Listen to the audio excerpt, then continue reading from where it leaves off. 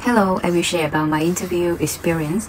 Uh, if you can demonstrate to the recruiter and a deep understanding their company, you have left a good impression. So take the time to research the company you want to work for.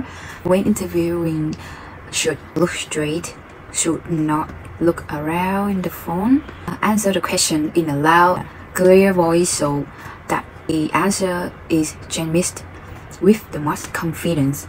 You should record to know when you need to edit, uh, remove the words um, pencil and rest away make an impression.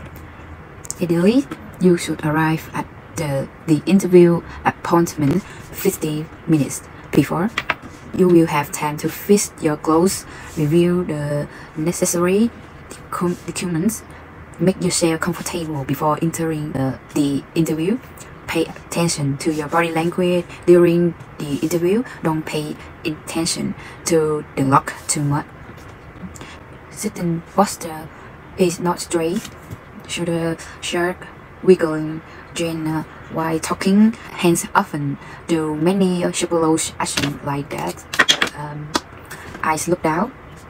Show that you are very self-confident. Believe in your every word.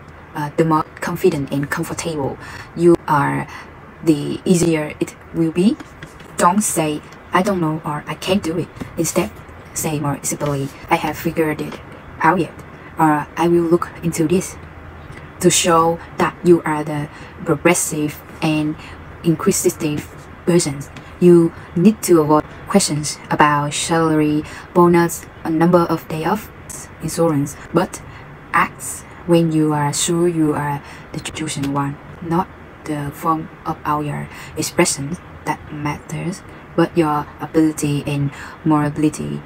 Therefore, to get the job you want, you should always and always be yourself in the eyes of the employer.